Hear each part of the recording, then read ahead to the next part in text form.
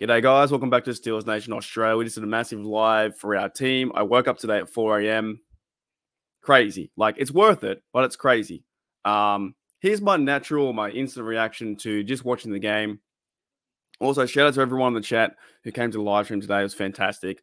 Uh, near 40 odd people. Uh, thank you, everyone who, who did the super chats and, and, stuff like that. The support is unreal, unbelievable. Uh, you guys are awesome. But my instant reaction is here's my first take. I still believe, actually, I think you move on from Canada. I think before the bye, you have to have you cut him, you, you fire him, you bring someone else in, you go with Glenn Thomas, you use it, use the same playbook. I don't care. You call better players at different times. I think you do fire him.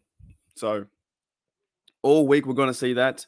Um, but shout out to the Steelers, man. The Steelers played a hard game. It was a it was an ugly game, a good win, ugly good win, but it wasn't pretty for three quarters, man. Uh, so I think you move on from Canada. At the same time, I can't control that. We can't control that. Uh, so you know what? Kenny Pickett didn't play very well. Um, the standouts in this game for me were Warren, fantastic. Feed that guy the ball. Give Warren the ball. I still like Najee. I'm still trying to be on the Najee train as best I can. I think he does some good plays. He does get, you know, um, there's times where he doesn't see the field, the vision's not there. There are other times where he gets the football and runs eight yards. So I like that stuff. But when you see Warren in the game, he's just a he's a he's a he's a, he's a new pace back. He's a fresh, you know, um, just a fresh player. The way he plays and, and grinds and, and runs and turns his body and his legs, never stops moving. He's a football player. Uh, also, shout out to Connor Heyward too. I think he had a good game. I know there was a fumble with Gunner Gunner as well. Dude, Gunner ran in, ran into Heyward. They came back. There was a collision, fumble. Next minute, we had Lamar Jackson move down the field, and it was a JPJ interception. Right, the offense is very poor very poor. Like Chris Boswell scored two field goals. We had a safety. Uh, we had a TD and to Pickens, Kenny Pickett to Pickens 41 yarder. That was crazy to see too. But our offense is very poor, very slow. Um, nothing's working. Critical downs, you just see second, you see a run, second and 10. So the Steelers, they played tough. D- did they win because of Canada? No. Did they win because of coaching overall? Where does the credit go?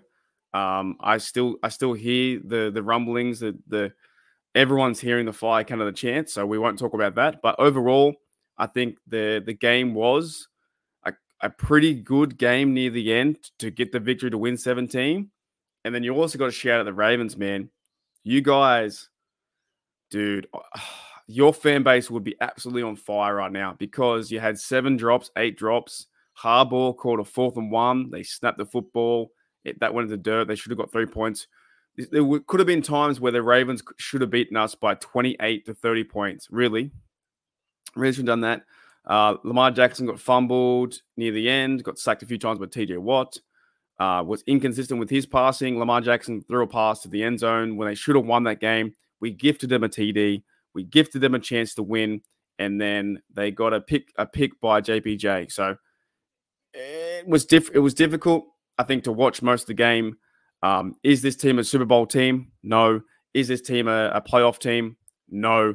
If the team makes the playoffs, can they win the first week? No. So there are a lot of no's, but we got the victory. And if the Bengals lose today, they go one and four. Uh, people talked about the Steelers being the, the, the, the, toughest. The AFC North was the toughest division in the. Uh, sorry, the AFC North was the toughest division in the NFL. Not really. It's inconsistent. Um, there are some hard hitting guys here, but our secondary is weak too. Some, some negatives. Our secondary is so weak. Uh, Levi Wallace, I think, changes at the bye. You got to start. You got to play JPJ more. You have to. He plays better man. He plays better coverage than these guys. Uh, you need to give Peterson maybe a different role. I don't know. Middle linebackers, they played okay too, but they're getting burnt. Uh, the wide receivers for the Ravens were just wide open, right? Let me go to a few stats and just see them. So they had 173 yards receiving. Zay Flowers carved us up too.